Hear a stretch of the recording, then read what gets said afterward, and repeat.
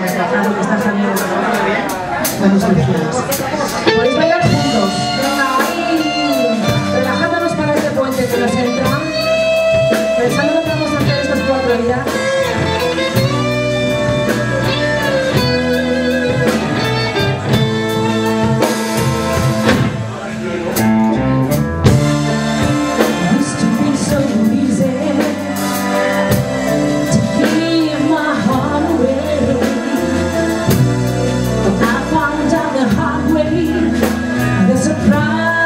You have to go.